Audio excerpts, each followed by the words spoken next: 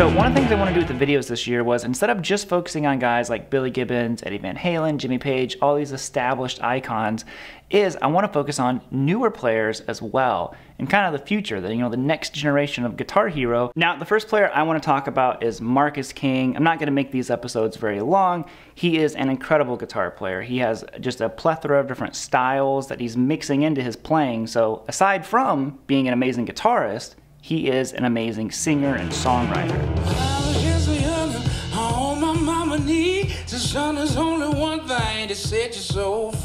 So his reach as a musician is going to be very, very wide. He's young, he's like early 20s, and I think he's just going to be one of those next guitar heroes, that next generation that's going to really lift guitar playing to the next level and inspire a bunch of people. So I'm going to show you the lick that he played that I was just like, what was that thing?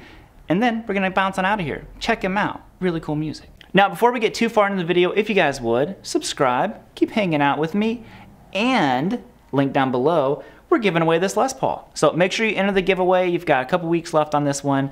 And uh, yo, 60 standard, this thing is sweet. So back to the video.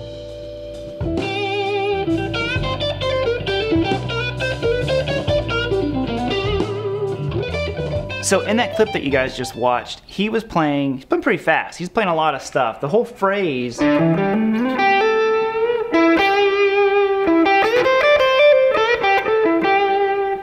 But when he did this section right here, my ears instantly perked up. I'm like, all right, what was that? That's pretty cool. I mean, the whole thing, and, he really takes off and gets going. But this little section here, the reason why it reached out to me is it's a really cool way of outlining a chord. So the whole thing is kind of based out of this G idea. And we're basically just outlining the one chord. But what was fascinating when I started learning it was that it's this huge chromatic idea. So he's going like this. Look at that. That's what he's playing. I, I, think he's moving down here. The camera kind of pans away from him and it goes completely out of focus. So I couldn't see his hands, but the notes was it there. And he, like I said, he does it pretty fast. So he's doing it faster than I am. So you're gonna go from 11th fret and you're gonna slide up to 12. So the 12 is what we actually want. You can think of this, if you're in the key of E, that's your flat five. You're gonna go up to 12 and then you're gonna play 13. Right there, you're doing that twice. And this is a total like, you know, jazzy blues thing to do. You start behind the note that you want to actually play and you slide into it, that half step little. You can do it all over the place and add a lot of that flair and kind of flavor to your playing. So he starts off with this idea. Now, like I said, he could be reaching up higher and I just, you know, couldn't really tell where his hand was at, but I went back like this because it sets me up nicely for the next part of the lick.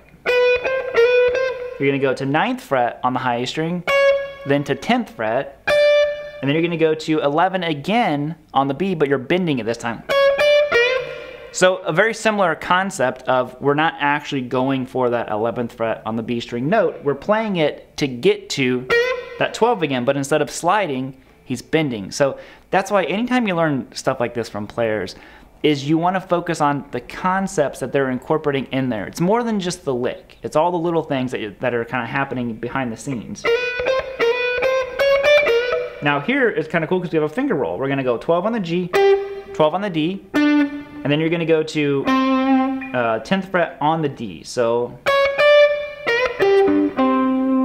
and then the, my favorite part of the whole thing. I love that so much. We're gonna go 8th fret, slide up to 9, and then 12 on the G.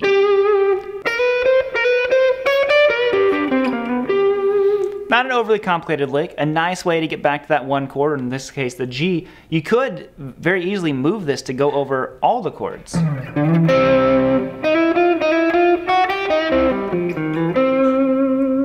Go up, so that's going over your four, go up to the five. Know, move it all over the place. So it's a really, really cool lick. Bluesy, soulful, it's got it all.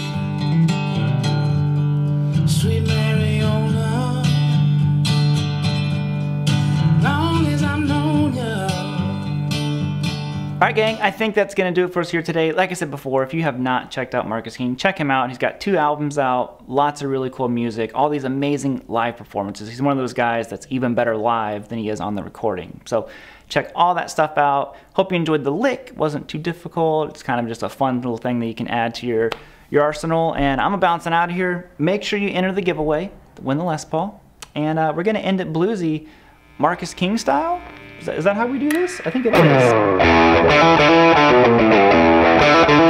Uh.